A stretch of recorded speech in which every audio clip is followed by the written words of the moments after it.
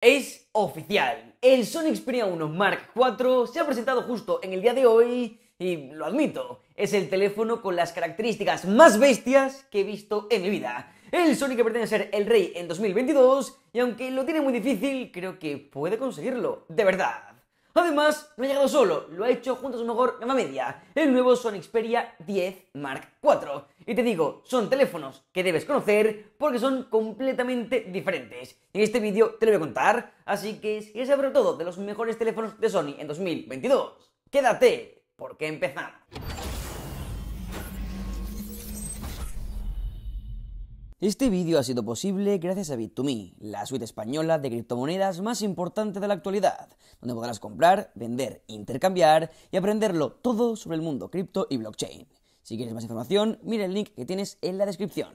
Estos son los nuevos Sony Xperia del 2022 que como siempre parten de un único diseño, pero se refine y se hace algo más premium en el Sony Xperia 1 Mark IV y en cambio es mucho más sencillo en el Sony Xperia 10 Mark IV. Pero sea como sea, son teléfonos completamente diferentes y únicos en un mundo de teléfonos cada vez más parecidos. Y yo lo admito, es que me gustan bastante. El Xperia 1 se ve realmente imponente, un teléfono elegante, diferente y muy bien terminado. En cambio, el Xperia 10 tampoco lo veo nada mal y de nuevo, un teléfono con esencia propia y que yo, lo admito, me encantan. Son teléfonos que tienen mucha personalidad, diferentes, y eso me gana. Lo veo y sé que es un Sony y además me gusta. Pero digo esto porque en muchas ocasiones, básicamente siempre que hablo de Sony en este canal, la gente me dice que el diseño no les gusta, que es feo, que es antiguo.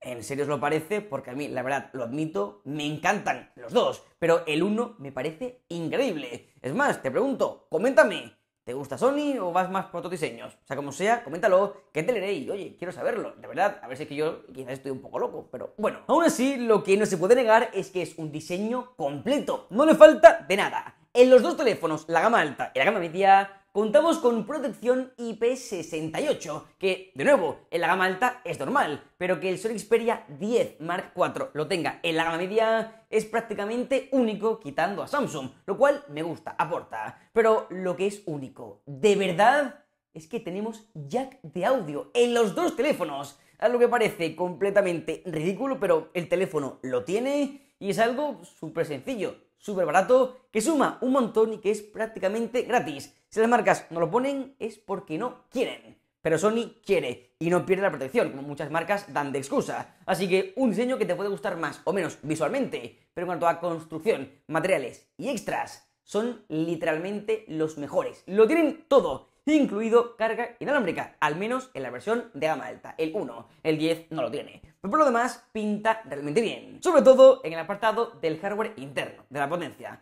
donde Sony siempre monta lo mejor de cada gama. Y la gama alta lo hace con el número 1. En este caso, el Qualcomm Snapdragon 8 Gen 1, procesador que hoy por hoy es lo más potente que existe en el mundo de los teléfonos Android. Como siempre con puntos buenos en potencia, estar optimizado y ser garantía Qualcomm. Y otros puntos negativos como el alto gasto de batería y también el calor que afecta a muchos teléfonos con ese procesador. Por suerte, aquí Sony suele hacerlo muy bien, porque tiene un software muy bien trabajado, un software pulido que además es prácticamente puro, pero con justas optimizaciones para que el teléfono vuele y vaya a la perfección. Y vaya si suelen conseguirlo. Yo siempre lo digo, quien tiene un Sony sabe de qué le estoy hablando. Aquí trabajan a un nivel espectacular. Eso sí, si hablamos del Sony Xperia 10 Mark IV, no tenemos tan buenas noticias. No está mal, sigue siendo lo último de la gama media, pero yo quizás esperaba algo más. Hablamos en este caso de un Qualcomm Snapdragon 695, que si bien otra vez es lo último de Qualcomm en la gama media de 2022. Y yo lo probé y rinde realmente bien, es un Qualcomm de la vieja escuela, optimizado, rápido y sin calor. Yo quizás me esperaba algo más. Por suerte y por lo menos es mejor que el Sony Xperia 10 Mark III del año pasado, menos mal. Aún así, como digo, yo a este precio esperaba algo más. Por suerte, el software es el mismo y un teléfono que debería ir suficientemente bien. Pero si te digo la verdad, puede que la potencia sea lo que menos le importa en un teléfono a Sony. Sí, en el Xperia 1 vale, en el 10 le da igual. Porque recordemos, seguimos hablando de Sony, el fabricante que crea los mejores sensores fotográficos para todos los teléfonos del mundo. Y te digo, este año en sus teléfonos han mejorado y por fin de verdad. Sobre todo en el Sony Xperia 1 Mark IV, del que las primeras filtraciones ya hablaban realmente bien, porque por fin tenemos un sensor único, diferente. Sony, como digo, le vende sus cámaras a todas las marcas, todas, pero por fin han creado un sensor único que ellos se han quedado y que está solamente en el Sony Xperia 1 Mark IV. Y no hay uno, son tres. Las tres cámaras hacen exactamente lo mismo con la misma tecnología. Este sensor se llama Sony Exmor RS y cuenta con 12 megapíxeles en un tamaño mucho más grande, permitiendo que a su vez los megapíxeles sean también más grandes.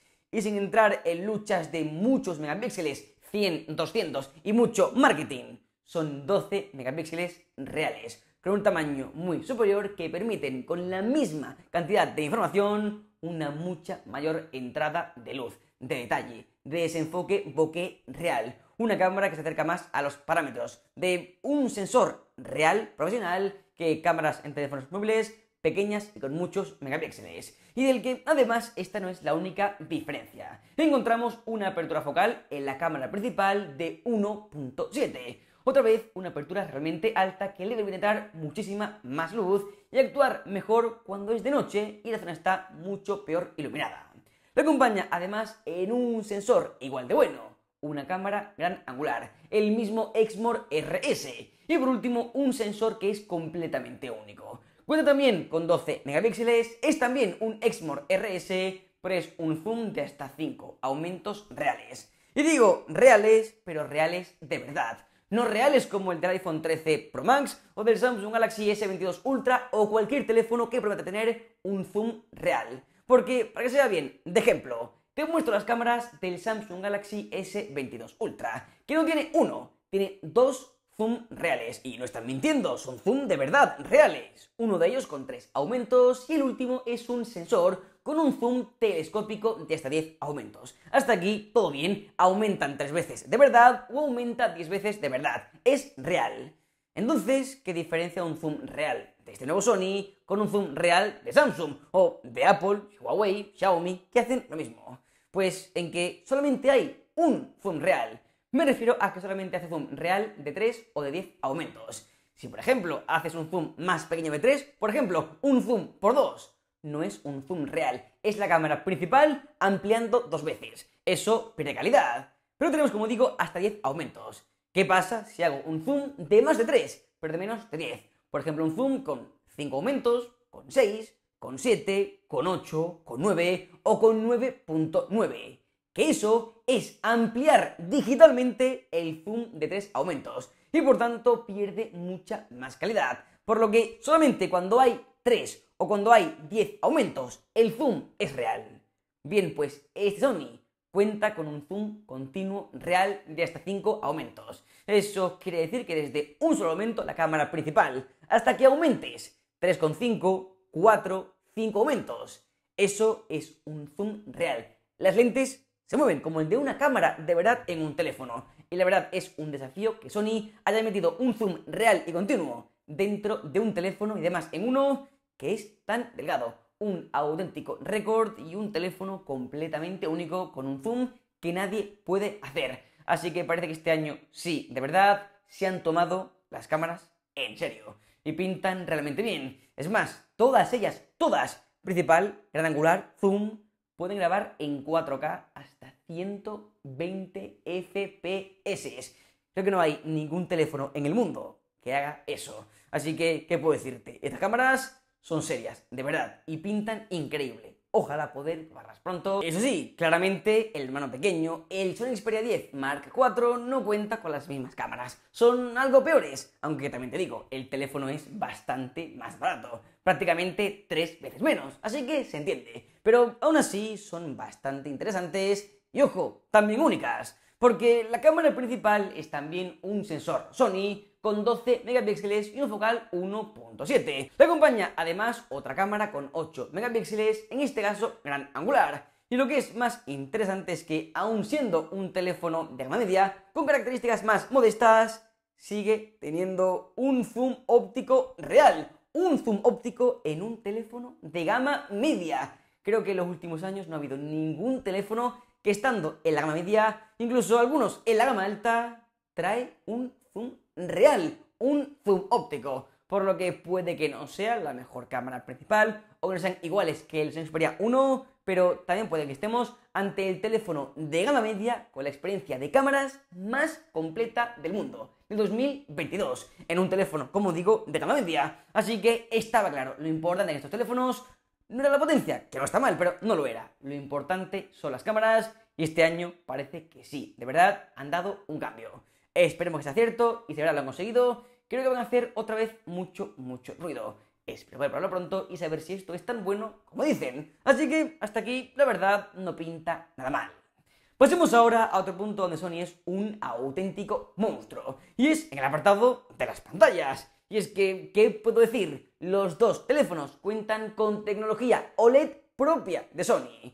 Eso sí, hay dos diferencias importantes. La primera es el tamaño. El Xperia 1 Mark IV es ligeramente más grande con 6.5 pulgadas. Y además, encima, con una resolución 4K y 120 Hz. Una cámara, otra vez, completamente única, diferente. Demostrando que Sony es experta en hacer teléfonos distintos y que pueden gustarte o no, pero como a mí, si te gustan, te parecen teléfonos. Y bueno, lo que es innegable es que una pantalla AMOLED, 120 Hz, 4K en 6.5 pulgadas es una auténtica locura. Otra vez más, está claro, el Xperia 10 es más barato y la pantalla es algo peor. Y bueno, puedo entenderlo, la pantalla es también OLED de Sony, son algo más pequeños con 6 pulgadas, sin problema, y además contamos con resolución Full HD Plus. Hasta aquí no solamente es admisible, sino que puede que sea además un panel bueno, correcto, como todos sus rivales. Todo bien.